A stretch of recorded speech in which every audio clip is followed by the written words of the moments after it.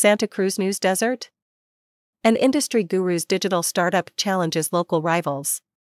Prominent new media guru Ken Doctor promised to help replace disappearing newspapers. His two year old startup, Lookout, is fighting for a foothold in Santa Cruz.